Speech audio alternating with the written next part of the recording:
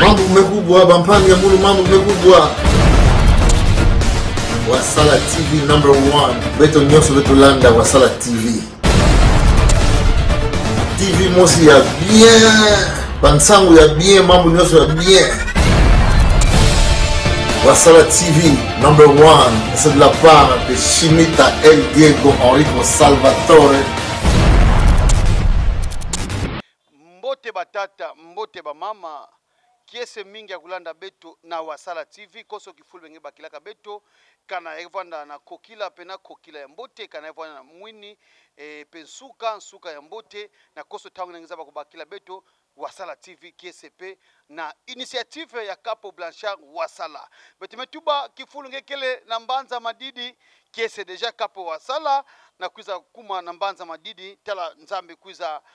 mpesange eh, mpe dilwaku bete kwaku eh, bete kuzalunwana kaka ngolo na kuzaka zangula eh, ya ekele inzo ya duki wasala tv bapangi bubu ya ikoma tsonso kena kuza koma tsonso na kingolo nyonso sambla na ekive mbanza matadi mbanza ya congo central république démocratie du congo betoke na kitombe ya kuseka na ve bete batoka bete tuba ve eh, nani kristu atuba na kifulu abetu ya betu tubaka kutuba epe kuzazabikisa nkangu mambo ke lutaka yake kiese mingi kuluta sami na ikive betu bato ete bakaka zondo na tsonso ina kena kutuba ke koma tsonso bapangi donk eh, zondo na tsonso tozasangisa sambe tokuza koma bato na mokili monso ya mbote ya kosala mambo yange ya mbote za bati beto eza komi na nge sonso kitwadi na beto bete pesa mbote na manima kitalatala ya bete tubaka papi kimbuta ya bwinel nzala paka kiese mingi kuluta eh, tala munu mosi mama berlone ndumba wandambisa wamese borel kitwade bitimusa baka mwana beto ya ipa ya ekejaki na kumbwa bukabu eh, diambote benerosia la fille ya papa merci kiese mingi na kuiza baka diaka mwana ya kento kitoko alo bapangi nkango kende koyuvusa koma tsonso yiki mambu papa deps de mpate na pandi pulubuzi mambu ke kitoko parceke bete mona wonga mpe bete koma tsonso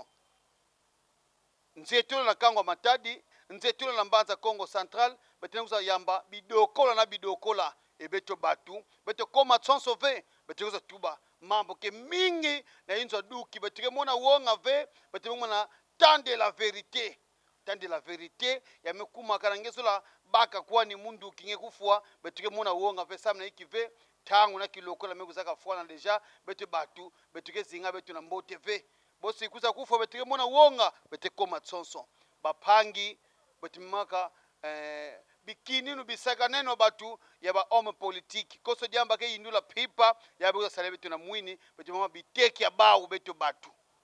mutindu bamekiseke ketu ba malonete betu batu bitima bamalonete bawu bakekinisa betu bavive bakukinisaka betu zekaka betu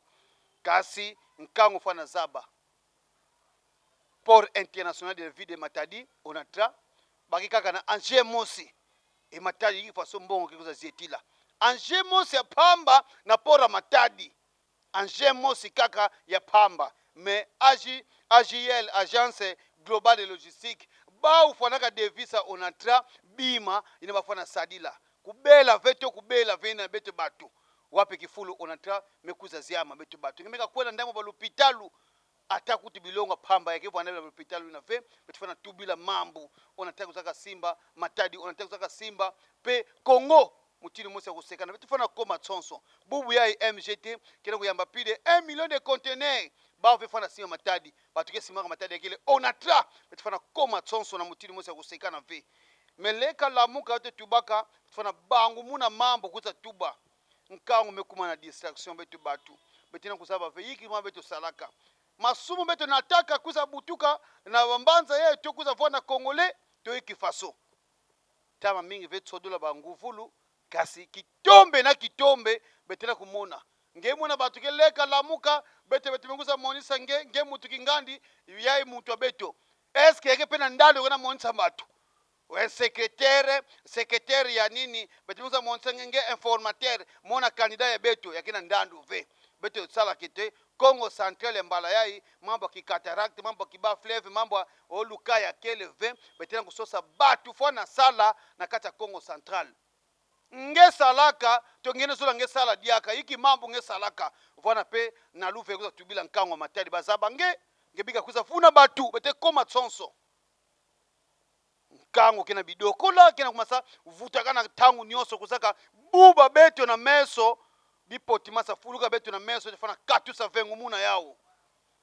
ya mbala yai nkango matadi lokola babeni kozalaka kondo kopona bato mbote na baélection mpe toza bati badepute ya beto kana bapona mbote mpe banguvulu matadi beto fana sala ti mambu mpe ti ya kuzapela ngolo mbe tike mona wonga ve mbe tike tu bamambu ke ya tiele ka sambana yeki ve nkango kuiza zaba mbanza kongo kizoba mi kuiza kuma mingi sambana yeki ve kifulu bato ye kuzaka vula kupe mingi kuluta yao kizoba mi kuiza yukana na mbanza kongo kifulu mutukena kumona tsoni bau mbote bakufaza mutini bakulu ntuke tubaka ina ke banda mina nge nge mutuke tela meso nge kumona tsoni ve kizoba mekuza kote na manza beto na kifulu tefana tadila mambo abwala mengeke mona batu kena kuna eh, kabasana ke oh, no kuna balakise ke mutakala oh, kuna yao kizoba beto mekuza fuluka na into bakongole muke pesaka kingana makaku kesonaka mingi bitika kasi angelenda pesa nge mwana venge pesa nikitika kitika mingangwa betu ya congo central ya république démocratique du congo congoleme kuma pre na nyonso ya kuteka kwandi muninga nandi samu na yiki nazula mfiuma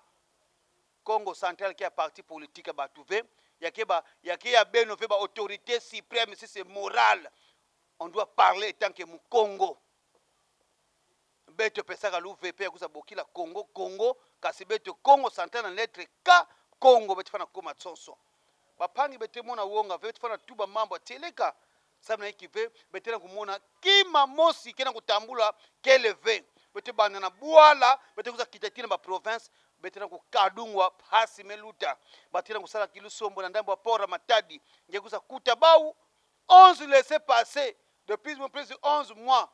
bato okeyebaka kaka mbongo ve bamekumaka tala bato bekumaka ya kokonda lokola bato ke so na manisa bamvula ko bato ya ba troisième age me baki na kosala sala na ikive bazaulaka bayibaka mwa la mere na ndambo ya port me laisse passe moye bafute bao mbongo ikeleve me onataki na kuyamba banavire batena kofutaka mbongo mbongo wapeke na kokwena beteke tuba mambu beteke koma tsonso oh no mbongo kuza kote na bilete ya pei bilete ya pei ya kuenda na ndambo kisasa beteke kuza landela yau eske baprovince nkaka bakozalaka kotisa mbongo bana babile te bapei dgrkc ya congo central direction générale des recettes de congo central yai eh, simon floribert mbachimbachi kozalaka zibula kesabenaki mpe province fanaka tambula diambo atieleka inafana futusa bao mpe koza pesa yani misisa kasi beto bato betoza bave yame kumaka lokola barécompense ya bato tekoma tsoso tekemona wonga ve vete tiubaka kana kukangama beno betela kufinga beno betela kutiwa mambo acheleka betike mabemba beno ve bwalakia beto nyonso eh, bwalakia beto nyonso betifana tuba betike na kumemuka bapangi betovuna beno ve mbanza yaye bete na kuzinga kana betovana na kiminu ve bete batu betumilau kaka tama mi bato mikilau kaka tena intu na kati ya bakongole beno zabaka sabana ikive nkango kena kuzinga luzingo abau ve lusingo ya kudeva ngemeka mwana na bwala bato kete kaka dipa na bitini zole kiadi kibeni bakenda kudevisa nge dipa na suka kasi ngena kona zieta na kokila ngeza bange peve kana bwala kana nge kusa baka pe mbongo kusa futa dipa ena yamekoma bato dingala eh, niongo alipa elalaka te nge mwana tata kena kuswama na manima eh, ya, ya, ya muelo fana kuti bave papa kene na inzo eh, lovanga na bimaki nyonso ena bapasi ena eh, yau koma tsonso kuweka tuba analize 565 analize samna kipengusa buombola pulubuzi betike mona wonga ve eh, analize ko betike mona wonga ve betifana tubila mambo ateleka distraction mekuza kote na bayinzo nzambi betu batu bato nyonso nga ah, nzambe aponi yo nzambe aponi yo ba 5 du matin bato kena kopona bete nzambe aponi mambo kena kosoba ve ya bete me tuba ya mbala yayi koso libundu fona sala pheki salu kuzadikisa nkangu nzambe aponi yo bakakwena maka na bimongo kuna ngekuena bapika mbien na kitsasa na mangengenge mimambo akidokula mambo akidokula kukonaka baka bafilmasha bau kumonsaka bafwenga bau yao kizoba nakuza monsa na nkangu tokuti mabondeli kongo kesala bonga mpe na bizoba modele apina bato kena kutambula me bamilau kaka cena baintu koma tsoso nakuza koma eh, betike bika mpe mokatata na kupesa mpe mbote ya ngolo kuluta na berclem eh, service l'arbishop de la sape ye na mbe ti ba ti be ti bato eh, kokala madidi kê so na kota na ye nzo yange kuzaka bongisa nyonso na koluta na motindi mosi ya mbote donc berclem service l'arbishop de la sape et pourquoi pas 15 eh, derik l'homme de sukula pembe ti bato mbe ti mpesa nge mpe mbote mingi koluta kiese mpe nini mbe ti ti baplamador les garçons mannequin ya yeke le tubi na nkango koma tsonso tala kifulu eh, mwana muluba ya latai olympique eh, gypsy ndaya kuza koma tsonso kitoko na beto esambani kive mambukele erase eh, eh, babukelo kiese mingi alobi ete bato yinzo nzambi bete kuza bakuza vundisa kasi bete bato bete kuza landa kaka na mambo ya beto na motindo ya kele na systeme kaka yako betekela bino kitwale bete tatamana kaka kuwakasa na bapova matondo tono mingi kuluta pamba mpe bete tubaka ya mbala yayi bete bato zondo ekenda kutambula sama na kive baini aza bazondo ve aza tu bamarteau na kikongo baphanga ekuza babukela uzondo bete baka zondo na tsonso ekuza bakange na yintu na systeme kaka ya ko bete bato bete kebika ve eh, wonga kele ve nyonso sama ke mambo atieleka bapangi mpe tozotambola bambote kitoko na nge ekuluntu eh, ya baleki eleki eh, ya bakuluntu mpe topesa papa ogi lwemba papa na petigi eh, tambula ya nge eh, mbote ya lunia kusu kifulu nge kele epamba ve eh, jansi konde donc eh, jika bete batu ya eve joseph kabila kasi ya jansi konde kiese mingi kuluta eh, na bato nyonso kena kolanda bete bete kepesa mpe mbote na président bawense mandudi vuna foi vraiment kiese koluta na fondation apo maneno mbe tokipesa mpe mbote na dieu est grand donc dieu est grand na kifulu ya francine nzuzu edi wilu bapangi bidoko lake na kokotela mbanzambe atali betina kuza bave bato kezola kokatusa bayinzo nzambi eh, bazola katusa bilanga loso batula bayinzo nzambi bakenda kosambila bapesa bao loso ni na kidokola mpe toyoki faso ngembo na bato kifulu bafana bakila madezo bakezola masa kufa kwani madezo batula inzo inzo nzambi bakabana kusambila nzambi pesa biso madeso esengela mona feke bato kena kusambila kidokola ya timituba ya mbala yayi eske batike bika mambo kuza lutira bete pina batu baka sala sala sambila enonke sambila sala bete koma tsonso kongo okenda kulomba koso muntu na ngete ata pastere kezola kubaka bakutwa batu beto fana kota na mulongo beto nyonso beto tambula beto tubila mambo bwala kitwali na beno sami na yiki ve ya mbala yai obeto bato ya mupe oyiki faso initiative bilanga loso beno dikila congo central obeto bato ya protestant mambo na keleve bilanga madezo beno dikisa nkangu ya beto ya congo central obeto ya kitwadi badefile eh, eh, beno pema na badefila beno beno sala bilanga ya madioko nkango bakudi ya madioko basala farine na madioko obeto bato liloba eh, eh, beto manga ve eh, lokola benenge kudia bansuni ve nini ve na peshe beno sala beto bambizi nkango kena besoin pise de solution sama ikive kukuoneka sambila nsuka khokila ndandu kena kubakama mfe vete kota na bisalu vete batu sama vete babaka ndandu na ndandu ngo bete batu arevei diambu ve lokola bemelamu kaka bana nsuka bandunda benosadila nkangu ya matadi to ya congo central kuzaka bungisa batu na kizoba bete fana komi na beno tsonso ya mbala yai bete nyonso kuntuala kaka sama na ikive bete sodiaka kizoba ve bamei koza bu babeto na baelektio awa bamei za bake nkango ameyandu kaka na tsatu kuzaka funa bana bapolo kuzaka funa bau eh, na ba 50 dollar ya bamisa teka eh, mbanza matadi bamisa bakana banani fana luta eske bato bakusaka pona mbanza matadi bao fana tubila nkango matadi betoza bave kiadi kibeni muna kutuba mutanga kumba mutu ve betena kokoma kaka tsonso eya mbala yayi bete fana tubake perne ti nde ambage so na bula mutopie bau mbi toza bave eh, tsodula banguvulu beto ke na tsatu veke no beto tulaka nge maboko samu nge luta nguvulu pesa beto ministere kingandi yake kuza kota bakontasie beto salaka nge plina beto fanaka tina mbongo na kitsasa congo central ke kipesa menga batu ve congo central ke ya bakongo bete nyonso betike bacongolais ngeke na ntango nyonso yakuza zinga ko soki fulu ngefa na mpona me kasi congo central yake bakongo beto bato beto manga 20 ya kuma veke no mbongo beto mbata nkaka zingilaka na yawu yiki faso bete mosi bana mbanza matadi bisalo ke lutena onatra bakesala baka ta bana matadi ve ndambo kaka ngekuwa régide zo eh, snel kutu kutuba kutu ve osese ngesala waka na diamu ndinga ve kala ngeme kuwa banako baka basécurité baketula bapapele na bibaka tala mutindu nkuwa musu kena kubaka betu ya beti mituba ya mbala yayi beti na kulomba na beno mpe badiaspora bayaki na bainitiative plus ya ngolo beno kuza koma tsonso na mbanza beno bika kifulu ve beno eza baka ti kuaku nde eh, bakozaka zikila bankumba beno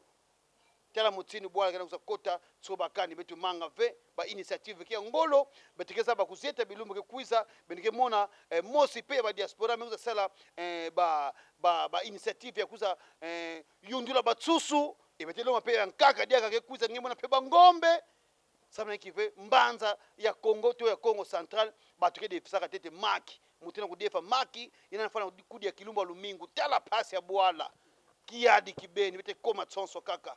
eh? mapa ya kudeva mutire kusoma na manima mwelo kawamza lomba mbongo kiadi tio mati mezenguka pambala zole yankameko na komina mvuzi yankana komina nzanza keba betukebika vebe tikuza tatama kuwasa bau beta tubaka nani kipese ya bau ya mbongo beto veti bamasa tambula bakipasika bamasa tambula nyonso bamekwena bakimbongo samana ikive batambula eh, mutile bekuza tekila bwala beto beto zabaka bapays voisin bete tangaka na basikulu bakesonaka kwandi betove koso ndambu na ndambu ya vwanda wapi bapasatula deja baina bafana kuza bebisa congo central beto me soki ya kuzibuka yau koso kifuni ngana ulandaka beto tala yiki mutu kekikuza baka na dikanda nge yuvusaka nani kaka beno eh, beto zaba beno samna yiki ve congo central bilumuke kuiza beto menga keba ve beto baka mambo ya este bati mbe eza badeja ntango te mu na kaka nkangu kuiza bakusa ya bati mbe tuba bayinzo nzambi ya mbala yai bene kuza sunga beto omusi nede tata kuena saida na bilanga loso beto kudya loso na congo central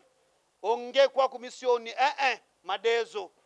madezo fana fuluka obeto kwaku kitwadi bati mbe tuba sakasaka na madioko kisalwa benu bene defile kuna ebeto mbanga ve benike beno mingi arme disale beto play masangu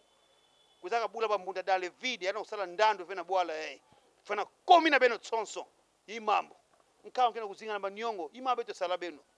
mutekuwa na pore eh, 11 mois impayé yekele na kuzinga yange muna batu kena kuzinga mutu kena 20 ans mais ilungu na mikuma ya 72 ans sala nkipe pasi ya bwala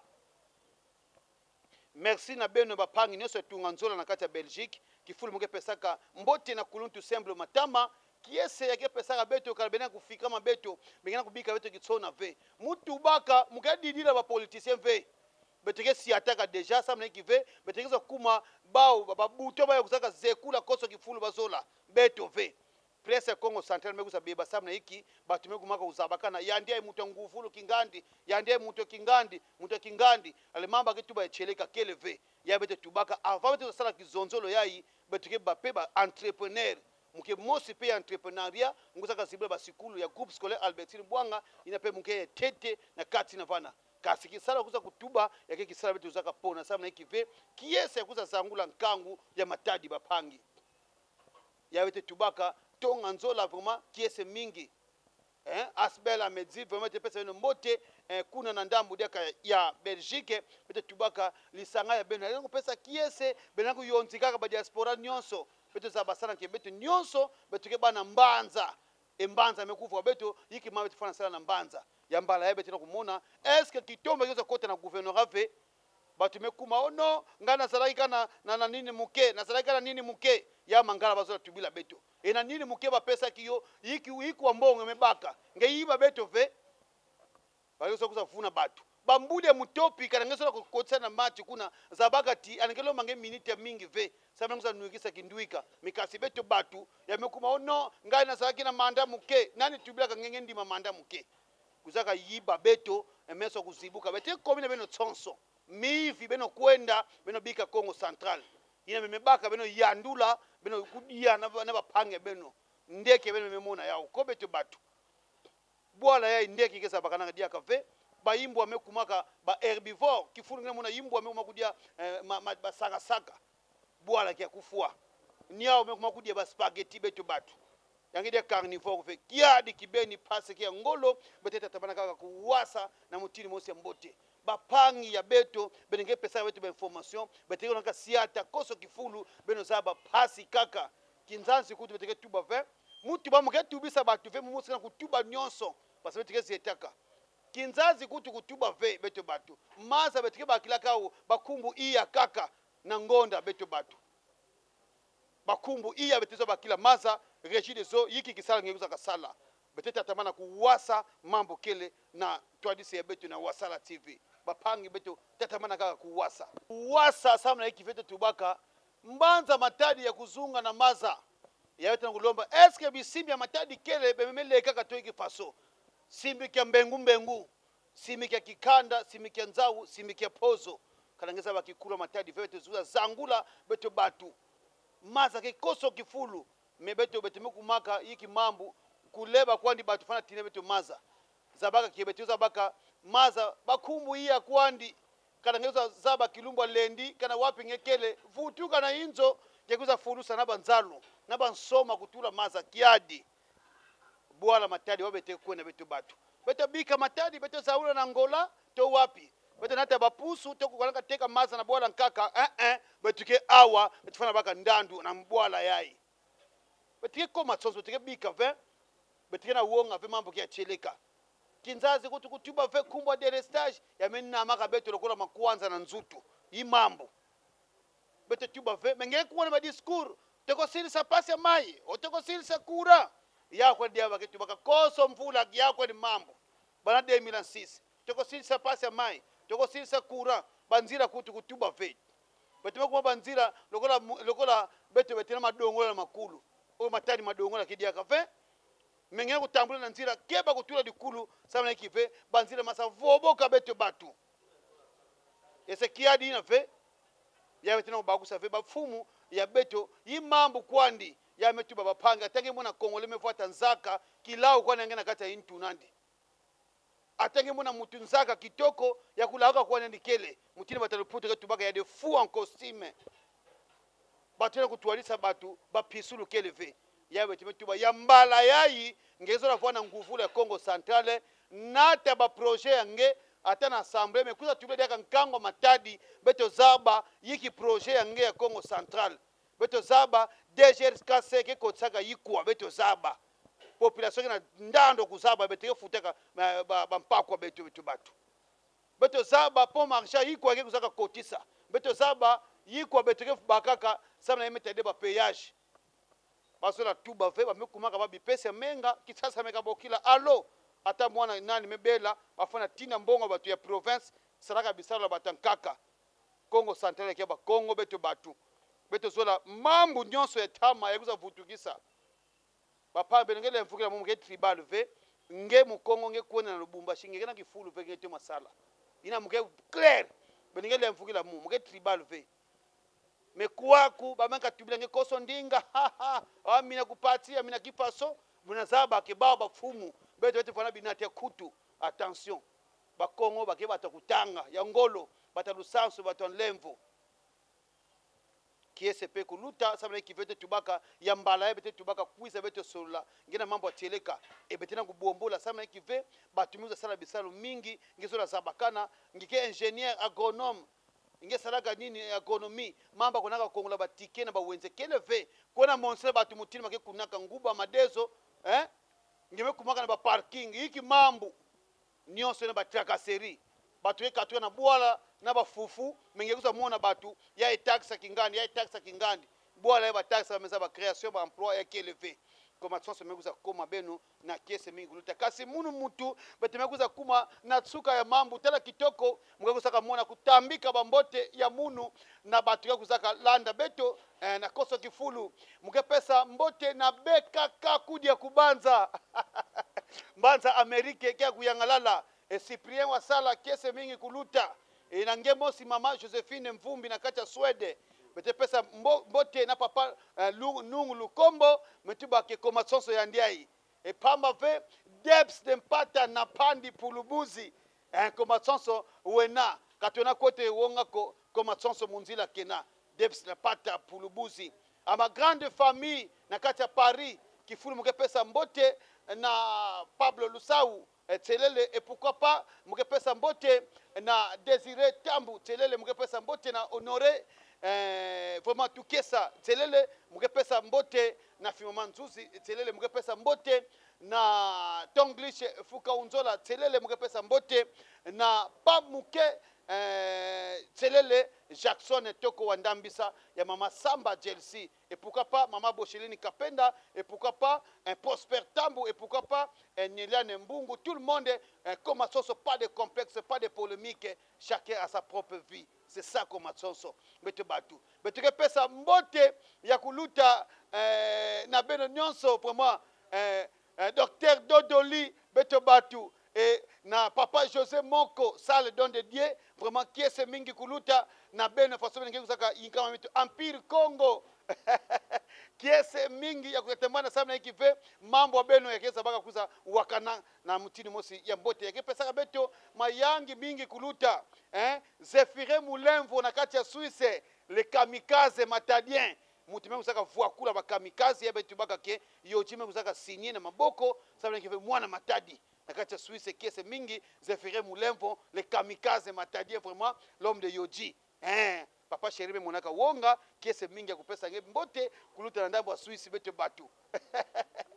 betetetamana mpe kuwasa eh, na transvision shalome voilà transvision shalome kifulu koma chonso kekwena na kitsasa maboko maboko kwande kuzibuka kwenda kota kana tomabilu kwenda na kitsasa na transvision shalom pichu aigle et pourquoi pas eh, patrick elandu et pourquoi pas eh, beno nyonso eh, kasi beto batu mulenda kuza manisa emission prive kondo kuza tanga kumbu ya mama eh, kubutila munu bana mama berlone bokazola dia mbote mukepesa mbote mingi kuluta Nangue, et pourquoi pas Petit Borel Bukabu, fils à papa, Belvi Makiese, et pourquoi pas Bertarel Bukabu, et pourquoi pas euh, Bukabu Diambote, euh, hein, Benorosia, Yaike Beba Beto Yaipa, Mekusa Butuka, Kese Mingi, na kuza ni dikanda munyo soke singilaka awa kuluntu nale tselele leta vraiment beto batu maivanganga euh, intu ya dikanda e mbuta lusaku kanange kuwa kumbu ve eh, bena levuka betete tabana kuwasaka bakumbu betekuza manisa na mamambo na kutubaka ba wapangi koso diambu koma sonso mekuza tuba kana yaluwekisa ngentima lemvuka kana yaluwekisa ngentima mve za bakubenda mikasi kuzimakanaka mve kunotika musapi sa mungekuza bwedikisa bapanga ngie na mabanza wasala tv kitwalikana capo blanchard wasala bete bato tiri mansa na kingana yayi nzila ake lutilaka bato yake butaka matiti ve kana yake na kubuta matiti za bakizoba kana kutatama na kukota Peut-être tu bois qu'en 2006, mais tu commences à passer à Mansa. 2011, et 2018, 2023, mamba ngwe ke mansa ka ve, sege kizoba kila tatamana kukota. Kalange kuwa kumbu ve, pange munu, zaba kusolala mukongone munu.